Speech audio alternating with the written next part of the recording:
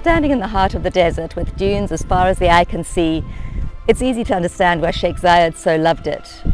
Apart from the beautiful vista of undulating dunes, there's a quiet energy to the place that's hard to put into words, but it's just a palpable feeling of potentiality. And um, what makes this um, spot here in, in the Al Khatem Desert special is it's the place where he spent a lot of his youth growing up with his maternal grandfather.